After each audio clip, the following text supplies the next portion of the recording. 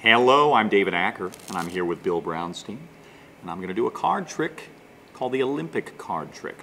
The problem with this card trick is a lot of people think I can do sleight of hand because I can do all this kind of stuff. Ooh, not very well apparently. Maybe mix stuff up and shuffle it around. And I don't want people to think I'm cheating at this. So I actually, I brought some mittens to prevent me from doing any sleight of hand during this card trick. That's why it's called the Olympic card trick.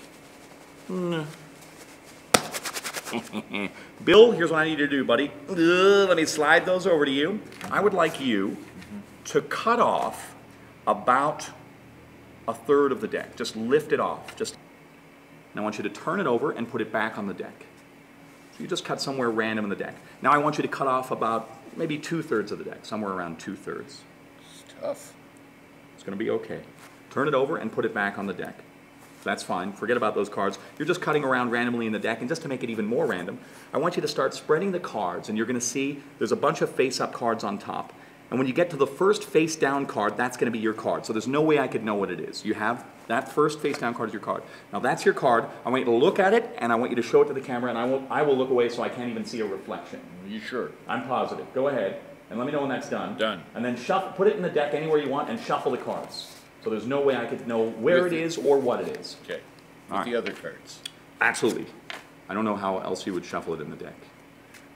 Ready for some 52 card pickup? Oh, no. That's a trick I wasn't banking on. And you can put the deck right in the middle of the table here when you're done, when you're comfortable. All right, here we go. You remember the card? yeah. Seems awfully twisted. I think I got it.